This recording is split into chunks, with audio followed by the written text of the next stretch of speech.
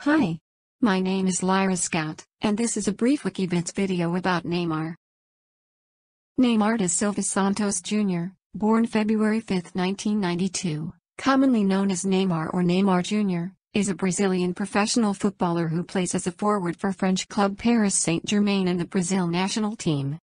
Neymar came into prominence at an early age at Santos, where he made his professional debut at age 17. He helped the club win two successive Campeonato Paulista championships, a Copa do Brasil, and the 2011 Copa Libertadores, Santos' first continental title since 1963.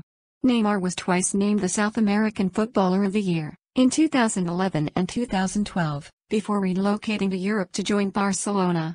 As part of Barca's attacking trio with Lionel Messi and Luis Suarez, he won the continental treble of La Liga, the Copa del Rey, and the UEFA Champions League in the 2014-2015 season, followed the next year by the domestic double.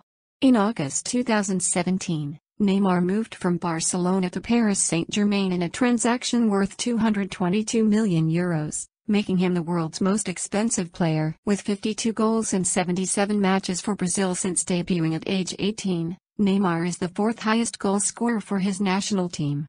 He was a key player in Brazil's victories at the 2011 South American Youth Championship, which he finished as the leading goal scorer, and the 2013 FIFA Confederations Cup, where he won the Golden Ball as best player of the tournament.